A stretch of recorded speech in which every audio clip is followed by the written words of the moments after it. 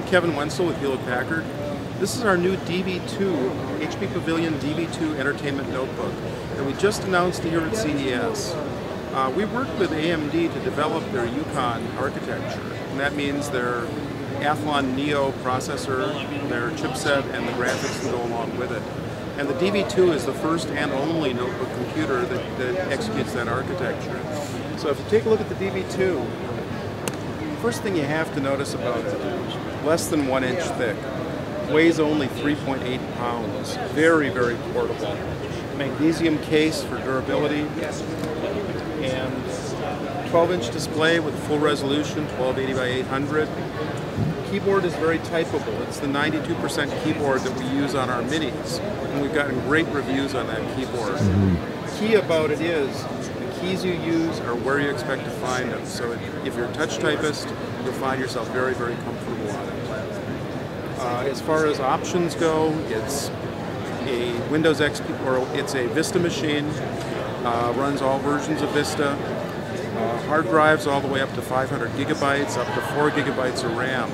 And something, something a little bit different on this one compared to most of the Ultra Portables is that we have two uh, graphics options can get it with discrete graphics, and that's an ATI 4210, or with integrated graphics, and also ATI integrated graphics. Now, kind of a unique thing about the discrete graphics version is that it actually has an HDMI port and an external Blu-ray optical drive. And you can play Blu-ray DVDs on or uh, our DV2. You can even uh, send the, the Blu-ray DVD output out to a TV set via the HDMI connection. So what do we got? Very thin, very light, uh, kind of durable. Durable. Yeah, kind of redefines the class of the ultra portable. And I like to call this the ultra portable everyone can afford because we've got a starting price point only $6.99. Yeah, that's really key because I've bought ultra portable portables for years and they're usually north of two thousand dollars. So this is this is netbook but better and also still affordable. So yeah, it, it goes kind of in between the netbook class of machines and right. other notebook computers. Uh, but it runs all of your normal office tasks. You can run Outlook on it. You can run uh, spreadsheets on it. All of those kinds of things. So it certainly runs applications that your netbook class machines usually don't run. Um, right. To, to, that means it can be your primary computer. It can do all of your all your work, mm-hmm. and of course go with you everywhere. Yeah, and with, with that HDMI output, it'd be pretty easy to hook it up to a, a monitor and you know, use it. You know, sure. regular. You hook it up to a TV, or if you got an HDMI to to uh, DVI cable, right. hook up to a monitor. Yep. Excellent. It's also it's also got a VGA port. Okay. And a lot of people, well. a lot of people still like to use VGA to hook up to things like projectors and stuff like that. Yeah, it's, it's sort of a legacy port that you still need to still need yes. to have around. Yes. All right. So I uh, want to take a look at the DV3 now. Yeah, let's go around the other side of the table to the DV3. Okay. This is our HP Pavilion DV3 series notebook.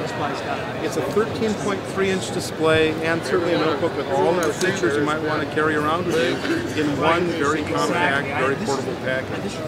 Notice it's one of the first Hewlett Packard uh, Pavilion notebooks to have a slot load DVD drive. So DVD drive is built in. It is just over one inch thick, and it's a magnesium case, so it's very durable. It has a really attractive bronze color to the case. This is, And of course, glowing HP logo to let everyone know that you've got the best. Right. When you open it up, we've got our HP imprint finish on this palm rest area. So it's again a bronze uh, look with a pattern that we call intersect. I consider it kind of an Escher style pattern. Mm. It's a full power notebook with AMD Turion dual core processors. It's got the ATI HD 3200 graphics, which is an integrated graphics, but a very well, very good performing integrated graphics. And of course, hard drives all the way up to 500 gigabytes. Uh, memory up to 8 gigabytes. And on this one, we also do offer an SSD option. So you can get an 80 gigabyte SSD if you want to order it that way. Um, on the uh, on the GPU, the D uh, the DV2 has an option of, of two different GPU, like yeah. integrated or discrete. Uh, is this one uh, strictly this integrated? One, this one is strictly the HD 3200 integrated graphics. Okay. Okay. I've done a lot of testing on those, they give a really good uh, Vista experience. Mm-hmm. And actually, if you look at the 3D scores on that graphics processor, it's it's a respectable score.